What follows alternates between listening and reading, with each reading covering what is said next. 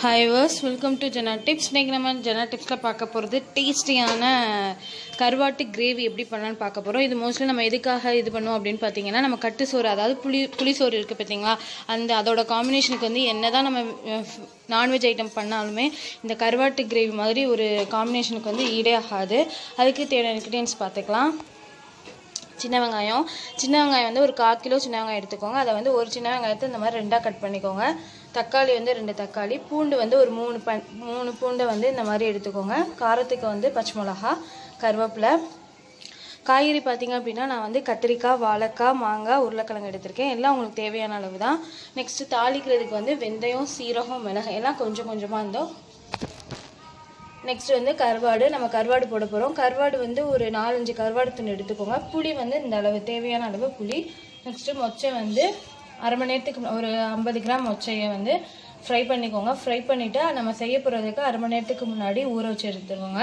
நம்ம வேக வச்சா இந்த மாதிரி பப்ளியாக வராது. நம்ம ஊற வச்சா தான் இந்த மாதிரி புஷ்ஷுன்னு கிளம்பிட்டு இருக்கோம் நெக்ஸ்ட் வந்து மஞ்சத்தூள் மல்லித்தூள் மிளகாத்தூள். ஓகேங்களா? அதெல்லாம் நான் போடும்போது சொல்கிறேன் இப்போ நம்ம எப்படி பண்ணலான்னு பார்க்கலாம். இப்போ நம்ம வந்து பாத்திரத்தை அடுப்பில் வச்சுக்கலாம்.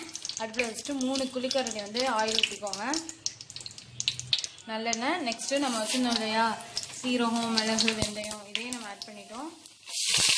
கருவேப்பிலை அடுத்தது வெங்காயம். இதில் வந்து கொஞ்சம் வெ- நம்ம கிரேவி மெத்தடில் வைக்க போகிறோம் நம்ம ஏற்கனவே வந்து ஜெனாட்டிக்ஸை பார்த்தீங்க அப்படின்னா மொச்சை கருவாட்டு குழம்பு எப்படி பண்ணலாம் அப்படின்னு சொல்லி நம்ம வீடியோ அப்லோட் பண்ணியிருக்கோம். அதை பார்த்துக்கோங்க. இது வந்து நம்ம கிரேவி மாதிரி நம்ம கட்டுச்சோறு சோறு நம்ம கொண்டுட்டு போகிறதுக்காக டூரிஸ்ட்டு சிக்கன் இந்த மாதிரி இடத்துக்கு. நம்ம வந்து ஒரு வீக்லி போவோம் இல்லையா? இந்த மாதிரி சமயத்தில் இது வந்து கெட்டும் போகாது. ஸோ அந்த அளவுக்கு ரொம்ப டேஸ்ட்டாக இருக்கும். ஒரு தட்டு சாப்பிட்ற வேண்டிய இடத்துல நம்ம இந்த கருவாட்டு கிரேவி இருந்துச்சு அப்படின்னா ரெண்டு தட்டு சாப்பிடுவோம். ஸோ அந்த அளவுக்கு ரொம்ப டேஸ்ட்டாக இருக்கும். இதே மாதிரி தக்காளி எல்லாத்தையும் ஆட் பண்ணிவிட்டு நல்லா மிக்ஸ் பண்ணுங்க. வெங்காயம் தக்காளி வதங்குற நேரம் நம்ம வந்து புளியும் வந்து நம்ம ஊற வச்சிடலாம். நெக்ஸ்ட் நம்ம வெங்காயம் தக்காளி போட்டு ஒரு த்ரீ மினிட்ஸில் நம்ம கருவாடையும் ஆட் பண்ணிடலாம்.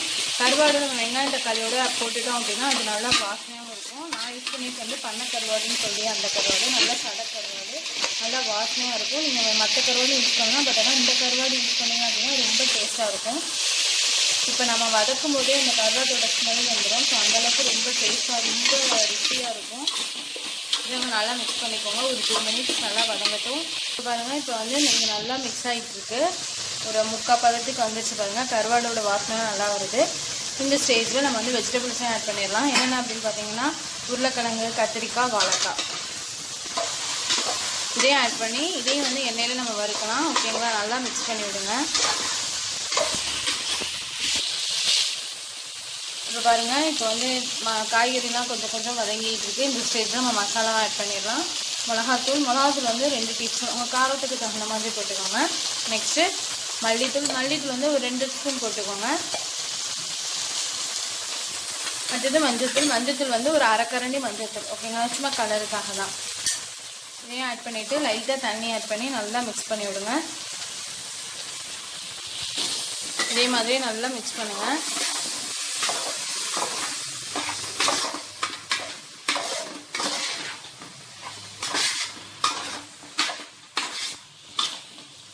இதே மாதிரி நல்லா மிக்ஸ் பண்ணுங்கள்